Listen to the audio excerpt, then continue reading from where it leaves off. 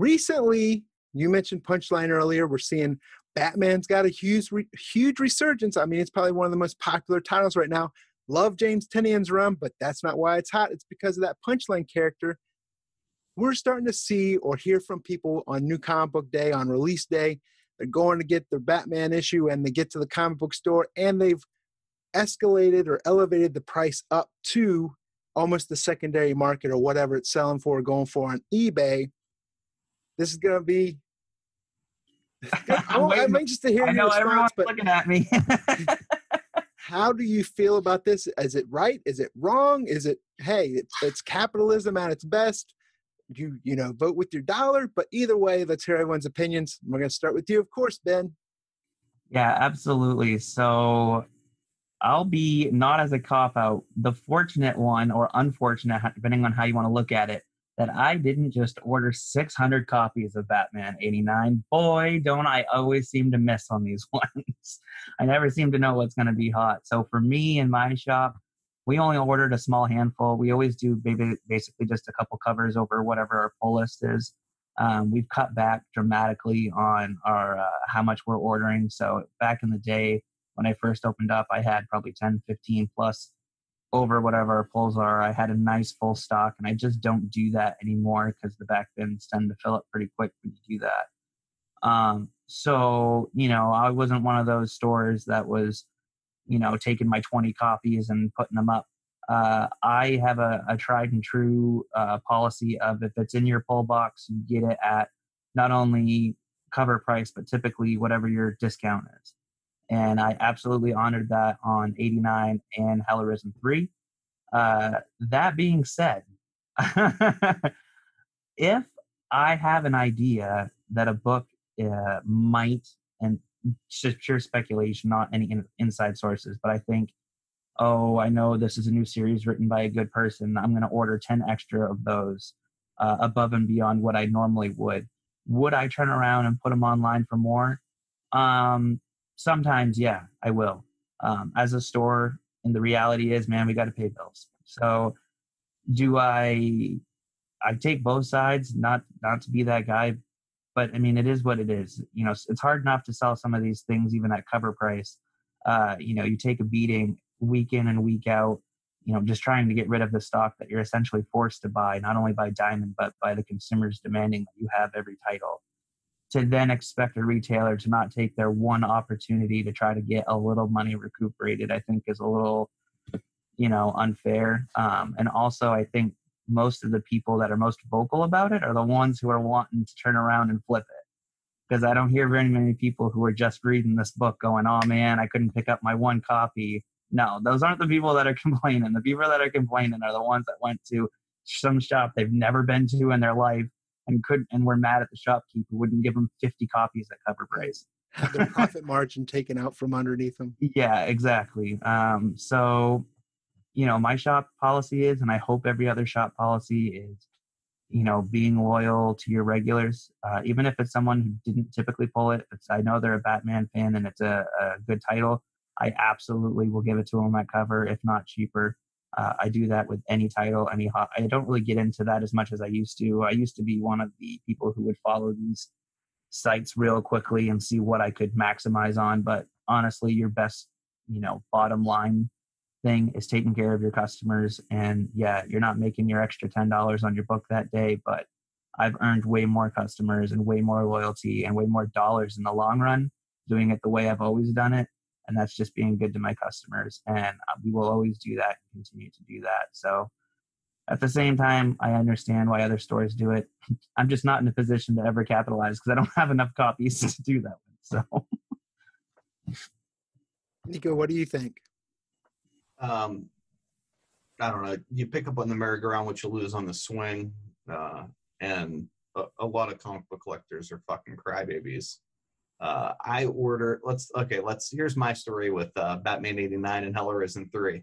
Um, I told everybody on the Comic Book Wars Facebook group, uh, maybe before Final Order cut off, but I ordered 10 copies of each book before Final Order cut off. But I told everybody they should buy it, and uh, there was this huge outcry that I was a moron.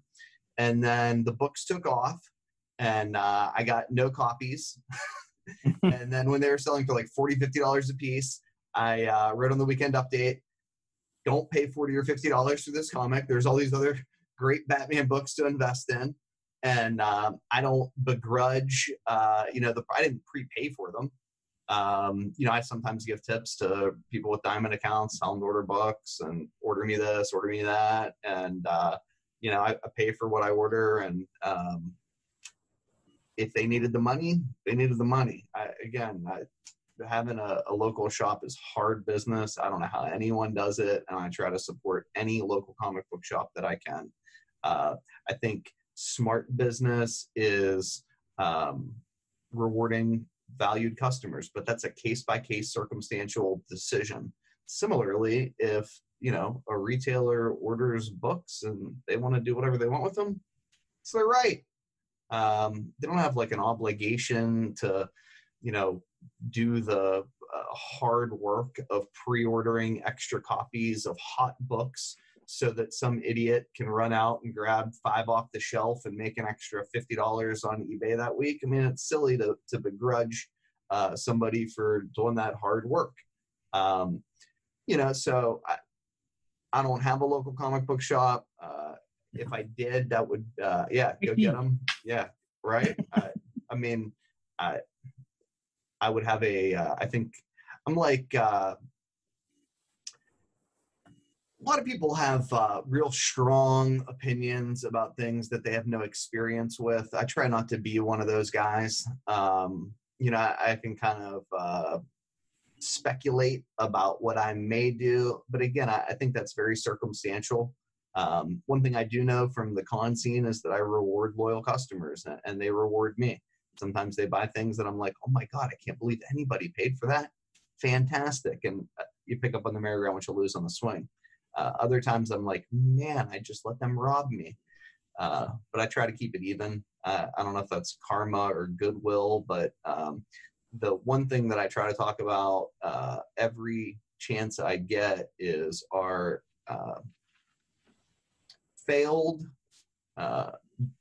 concerted effort to do good for the comic community, like to take care of the community, to treat other members of the community as our brothers, sisters, whatever, to engage in uh, apprenticeships, to mentor younger collectors, to find mentors, uh, you know, to really just support independent authors, independent artists, as well as uh, people who are you know doing this professionally. Um, I think if we love the hobby, uh, then we've got to love the people in the hobby, um, and that means other collectors and, and the people uh, you know who are doing the hard work behind the scenes. So uh, if we keep that, I think in the forefront, then all the other stuff sort of falls in place. So, Brian, you know where I'm going to go with this. Obviously, I have a bit of a counterpoint from uh, both these guys, and I get where they're coming from. Um, I've made my point a few times on the channel. I don't want to take that for granted, though, because I know that, um, you know, thankfully, we, we really appreciate it. Our first podcast, we were really blessed with uh, the results of. Um, and I know there's a lot of you listening out there in audio. So, for anybody who hasn't heard, I am staunchly against any retail shop marking a um, regular release book. Variant covers are different, but a regular release book above cover price on release day, and furthermore, really release week. But my hard argument is for release day. Um, and I understand immediately the backlash that I'm going to get from this. Um, I understand what like Nico is saying about like the speculator running in there to get five copies. Yes, no, a retail shop doesn't owe that customer the ability to do that. That's where one per customer limits are absolutely essential. Um, secondly, um, the thing that I, I'm going to hear about is pull lists. Yeah, pull lists are great, but you have to ask yourself as a retailer if it's all about the pull list, if your only customers were those who you have pulls with, could you keep the doors open? Would you? Can you make a living for yourself just off of your pull list customers and pull list customers alone with what how many pull list customers don't come in and pick up their pull list books that's well. that was my ne- that was my next point is then anytime a retailer wants to talk about retailers going out of business they immediately point back at those same pull list customers and say that the non picking up of the pull lists is the reason why they were going out of business, which I which I can understand. I actually think pull lists are antiquated, terrible system that doesn't benefit the retail shop at all. They get nothing in advance. They have to put out all of the risk and all of the money.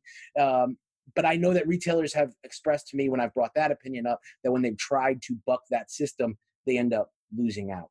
Um, my background is in retail. I went to college for retail. Um, I've been a retailer for almost 20 years. I've managed small retail shops to large chains. I've done multi location. I've broken a new brand in, a, in an area it never was. And I, my specialty has been sneakers for the last 15 years, which went through a renaissance kind of period of flippability. And I always kind of compare it to that. When we were the one of the uh, few places you could get Yeezys when they were first the hottest thing out um, yes, you could have bought them for from us for $175 and immediately put them on eBay and sold them for $800. But if we would have marked them up to $800, which us being a mom and pop owned shop, we could have done. But if we would have um, done that, we would immediately have separated ourselves from every other retail shop like Foot Locker and Finish Line that didn't do that, that didn't take part in that practice, who thought bigger and more long term. And we would have ha- have not been able to penetrate the market the way we did over the first five years of our brand entering the southeastern United States. And it was because people started to know that they could come to our shop on release date of a hot product. We'd have it and we wouldn't mess with them on the price. And I implore stores to understand that acquisition of a new customer is one of the most expe- biggest expenses that your store is going to take part in and it's not a fixed cost you're going to see every day. It's not the way you see your light bill or the way you see your diamond bill. Um, and those pull list customers that you have that you love and i absolutely stay loyal to those who are loyal to you. If you do not grow them you're not going to be able to stay in business. And the way you are going to grow them is by consistently being able to provide that that service to your customer. And a hot book i don't sit here and say this to you at, to say it as in like you you know you're cheating anybody or anything like that. I'm actually employing retailers to try something different a different strategy. Instead of looking at it and saying well i can make because i've often said like how much are we talking about even if you have 20 copies of punchline for you to make an extra $400 how many customers like could you acquire? How many new pull boxes could you set up if you sold one per customer and you talk to every customer that bought that? I don't have a problem with stores who take a hot book and attach uh, other requirements like you want Batman 89, you got to spend $20 in the store. Or you want Batman, there was a store that got publicity because if they sold Hell Arisen 3, you had to buy Hell Arisen 1 and 2. I don't have a problem with that. Um, these those are creative solutions to this problem.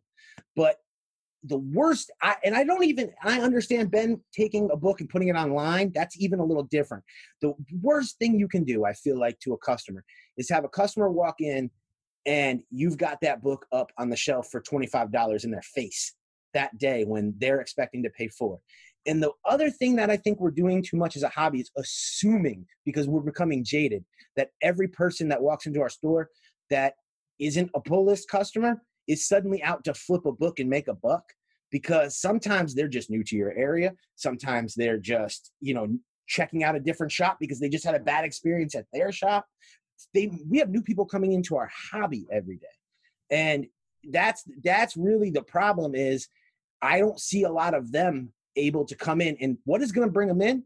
A hot book talked about all over media. Batman 89 is an opportunity for you to get new customers. And if you don't get hype about that, if as a retailer that doesn't charge you up and go, man, yeah, I can, I hope three or four new people are going to start ordering from me so that the next time, you know, a big book comes out, they're going to pre order it you know, then I feel like we're missing the boat because you're never going to be able to stay in business long term with an extra 60, 80, 100, 200 dollars. That's mm-hmm. just not these books don't happen often enough for you to be able to stay in business just because of that. So the argument when I get is it a free country? Yes. Is it you know um you know you you have the freedom to sell whatever you want for whatever you want. That's that's your choice as a business. I get that. The free enterprise, I get that.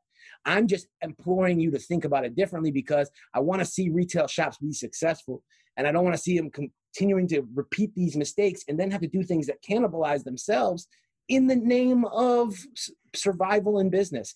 If we if we're just doing what we're supposed to do, then these these shops should be able to thrive in what is really a boom market in the comic book kind of market right now. It's a boom time period. Well, that was a lot to digest. and uh, I think pretty much we're all on the same page here. So uh, I have never put a book uh, up on my shelf for more than cover.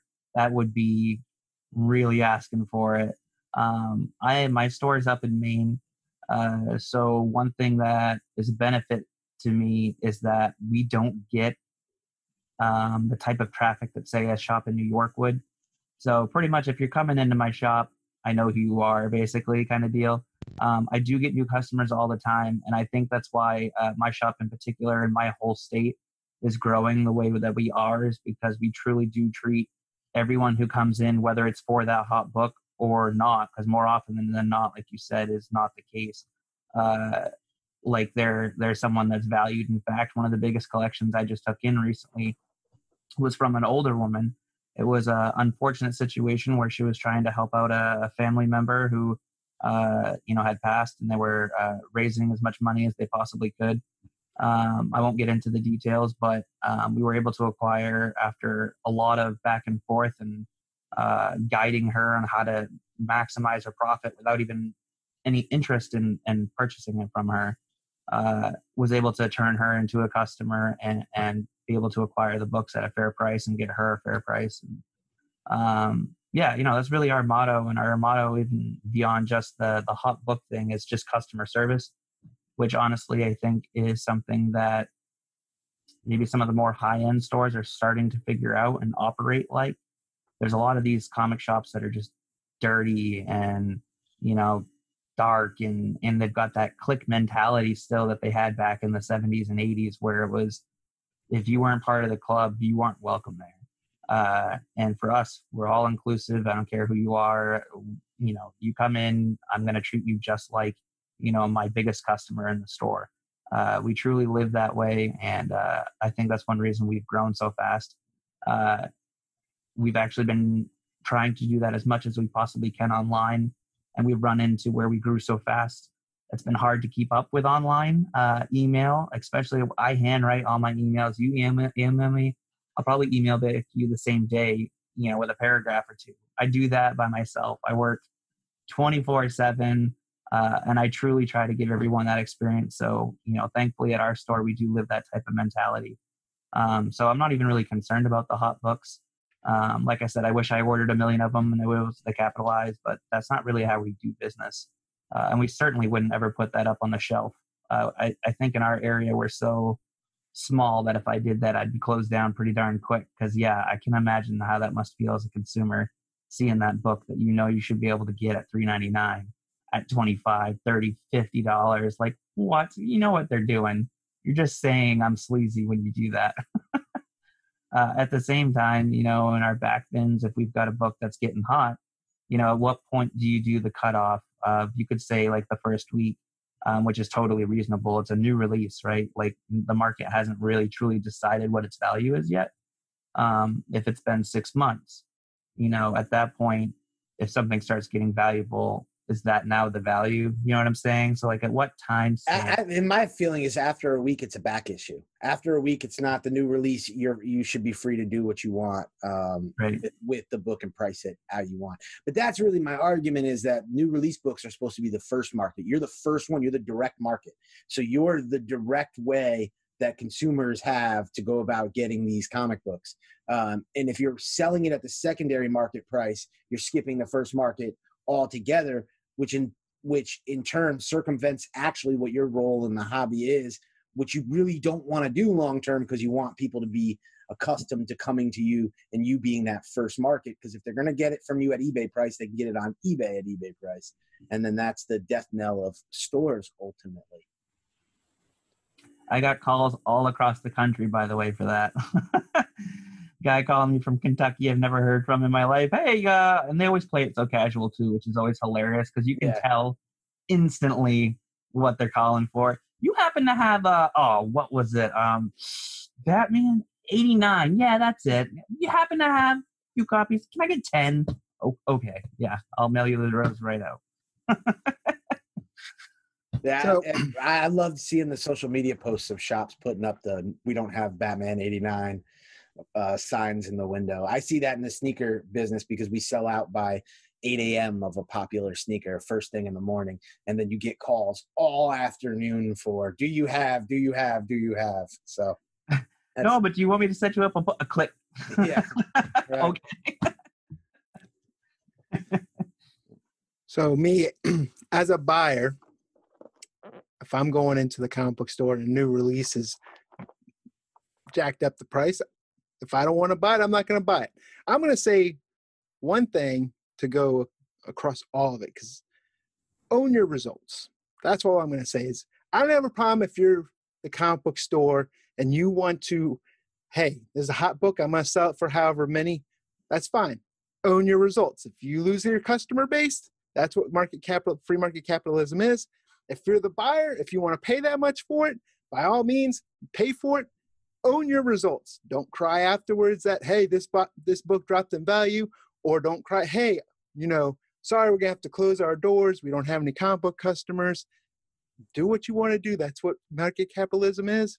Just own your results. Me personally, I go in, I'm not gonna buy it for that much unless I absolutely, really, really want that book. If the risk is worth it for me, or I don't care how much it costs, I want it in my collection, I'll spend that much. I personally will not pay that much for a book, especially a Batman cover A, 89. I will never pay that much. But do what you want to do. It's a free, you know, that's what that's what makes the country great. That's what makes the everything great. But I agree with everyone's point of view at the end of the day, just own your results and then move on. Because we hear both of it. Everyone wants to speak on everyone's opinions, or everyone wants to speak on, oh, you're just saying that because you don't have a pull list, or you don't run a comic book store, or you're just saying that because I don't get, do what you want to do, just own the results of it.